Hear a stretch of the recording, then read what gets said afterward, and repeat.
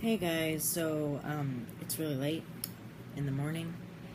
It is um, 12:32 in the morning, and I really wanted to get a video up for you guys today.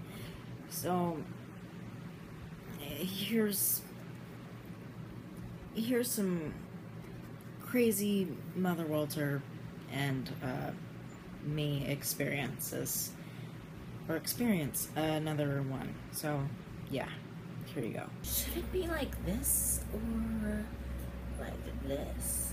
Mother Walter, what are you doing here? Like, seriously, what are you doing? It, it's not what it looks like. I mean, I, why would I be in your room? Really, because it looks like you're in my room, my room, using your beauty products. Like, who does that? Just jealous because I look super good and you don't.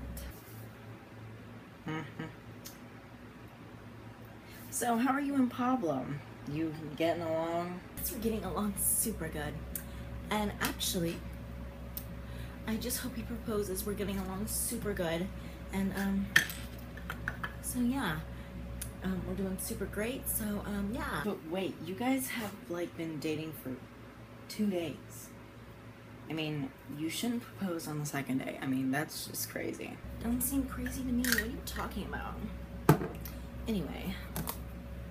So, yeah. I guess I'll get out of your room now. I mean, really. Yeah, you really should.